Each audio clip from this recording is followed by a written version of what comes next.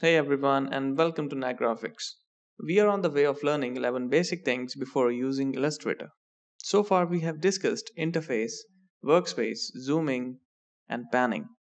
And in this lesson, we will discuss a brief about the paths and the anchor points.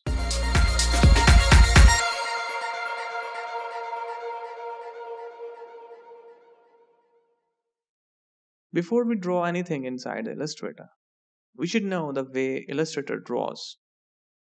We have a variety of drawing tools in the Tools panel like Pencil tool, Paintbrush, Line Segment tool, and many more. All they draw is basically a path which is connected by the anchor points. For example, I pick the Line Segment tool and draw a line on the artboard. After you finish drawing anything, that thing gets a blue line which shows that the thing is currently selected.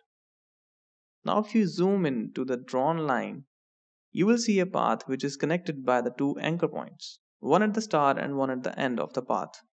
This type of path, where opening and closing anchor points are different, that path is called an open path. Now I will draw a rectangle. Now notice this shape. The opening and closing anchor points are same and hence this is called a closed path. Even if you draw any shape with a paintbrush, you will draw only paths which are connected with anchor points.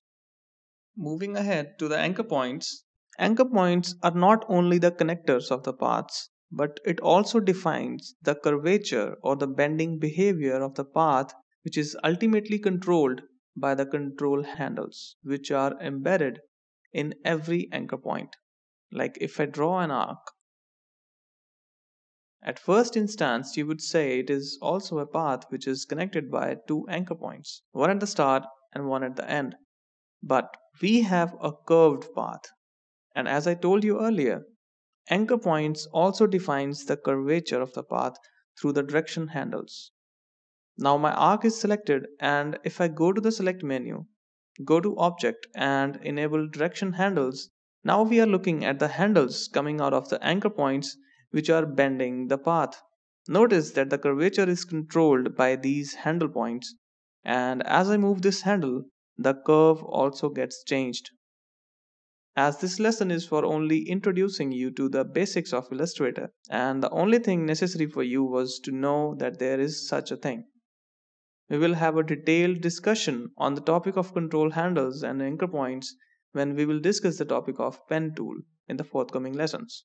So I end up this intro video about the anchor points and the paths and in the next video we will discuss the topic of selection tool or the black arrow tool.